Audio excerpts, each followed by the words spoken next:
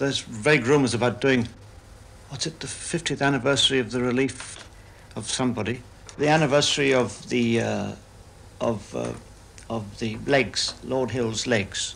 They've been together now for 40 years. This isn't going out as news, is it? Of course it's news. Oh. It's the biggest news ever. Yeah, I see. It was an obituary column, wasn't it? Back from the dead. That's wonderful thinking. of The 50th anniversary of broadcasting is marvellous. Really was a brilliant idea. On the 50th anniversary of radio, which must be now almost dead, you know, I lay wreaths outside the Aeolian Hall every every second of December. How do you think you'll all get on together again after this long gap of doing other things? Pretty well. Well, I see. I, I see Peter pretty frequently, and Harry less frequently. But then you only have to see him really because he's so big. He makes up for it every time you see him. It's like seeing him eight times. You had a lot to do with the writing of the original Goon shows. How did you do it? How did it all start? Slog, just plain slog, and giving your life's blood. That's how it started. It was pretty advanced stuff for those days. I mean, it was a completely different kind of comedy, and people weren't used to that kind of humour.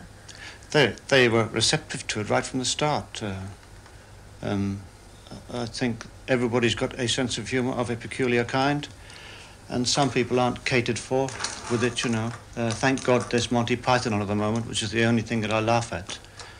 But Monty Python is really a direct follower on in your oh yes, line it's of uh, comedy. it's uh, it's um, one of my great great great grandchildren. You know, and I'm very proud of them.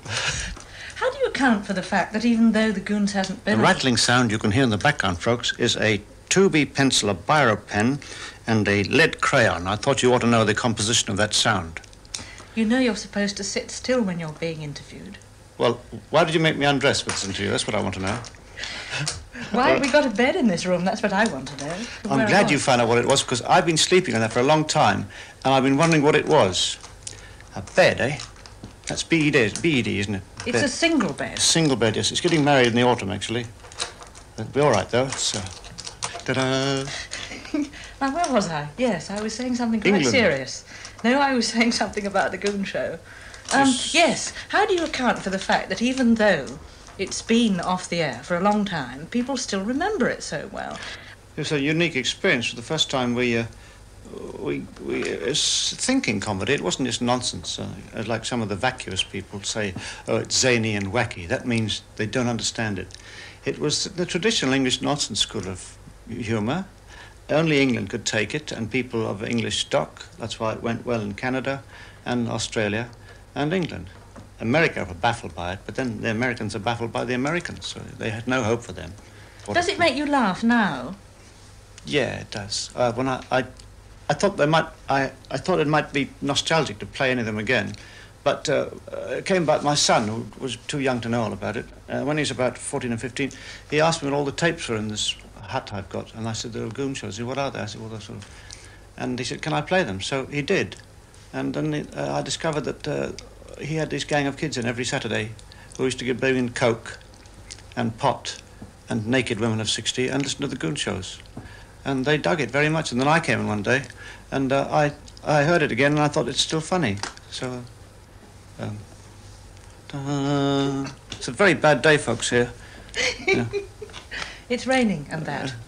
Um, it's the Queen's rain. You know that. That's all officially Queen's rain out there today.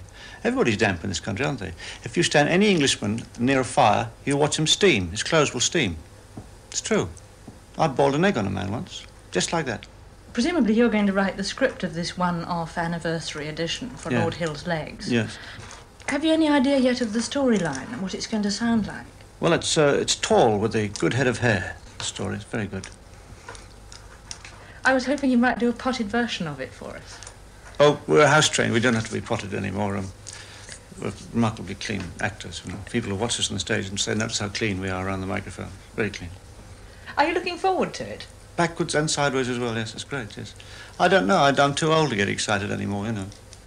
Uh, it'll be nostalgic, I suppose. Did you miss it when it stopped? Yes, I, I went round days looking for it. I, I missed it altogether. Uh, I know it's out there somewhere. You know, I just couldn't remember I parked it. I suppose.